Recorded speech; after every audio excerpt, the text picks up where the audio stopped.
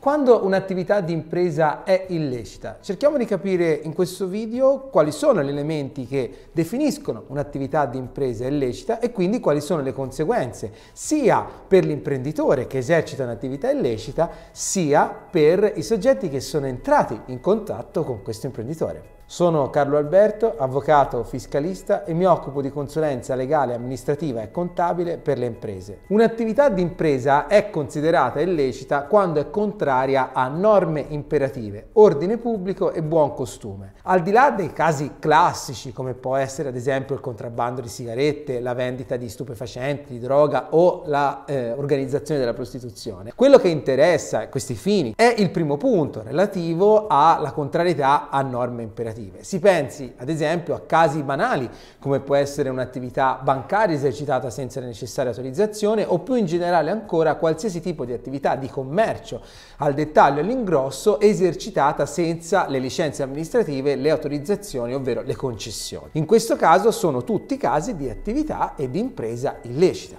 Quindi che cosa succede? A i soggetti che magari sono entrati in contatto con un imprenditore che esercita un'attività di commercio illecita. Appare indiscutibile e impensabile che se un imprenditore esercita un'attività illecitamente, ossia senza le necessarie autorizzazioni o concessioni, possano ricadere dei pregiudizi nei confronti di altri imprenditori che magari gli hanno venduto dei macchinari e quindi questi non possono avvalersi degli strumenti giuridici. E quindi i terzi che sono entrati in contatto con un'impresa illecita stipulando contratti illeciti sono comunque dalla legge tutelati in questo confronto e quindi possono agire ad esempio verso il fallimento di questo tipo di imprenditore o comunque con le azioni a tutela magari della concorrenza eccetera. Ovviamente però è da tenere presente che c'è anche un principio importante, il principio ossia che l'imprenditore che ha agito illecitamente non può usufruire degli strumenti di favore dati dal legislatore, quale ad esempio la propria tutela nei confronti della concorrenza sleale oppure la propria tutela ad esempio sulle scritture contabili eccetera.